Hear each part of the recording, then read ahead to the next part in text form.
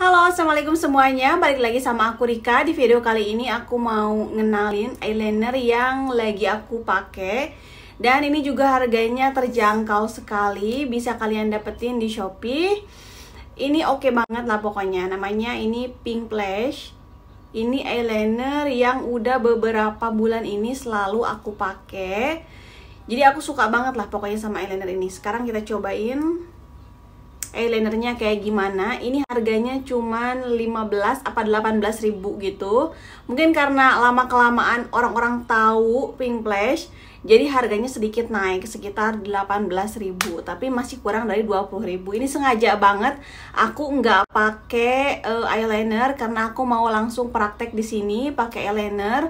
Dan di sini juga aku bakalan ngeliatin ke kalian bahwa eyeliner ini oke okay banget biasanya aku mulainya dari luar dulu baru ke dalam.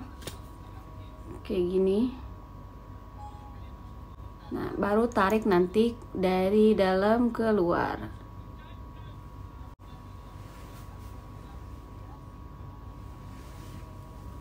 Ini aku pakainya tebel-tebel karena pengen liatin ke kalian kalau ini hitamnya tuh bener-bener hitam banget aku bikin cat eye di sini.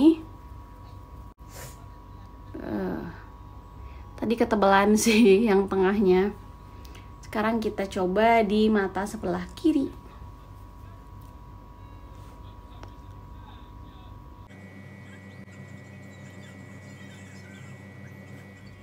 Nah udah deh.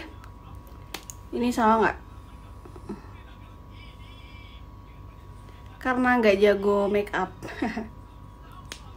tuh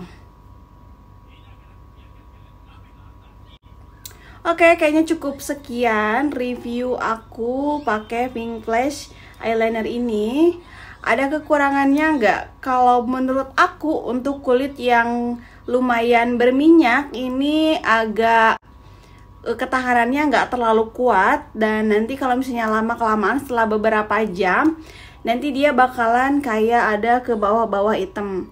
Asal jangan dikucek-kucek aja. Tapi kalau aku sih tangannya agak nakal suka kucek-kucek dan nantinya bleber ke mana-mana gitu ya itu aja sih kalau selebihnya oke-oke aja dengan harga yang di bawah 20 ribu Oke, okay? oke okay, cukup sekian uh, review kali ini. Makasih buat teman-teman yang udah selalu nontonin video aku. Jangan lupa di like, komen, dan kalau yang belum subscribe, di subscribe dulu. Terus apalagi nih yang harus aku review karena kadang-kadang ngeblank harus nge-review apa.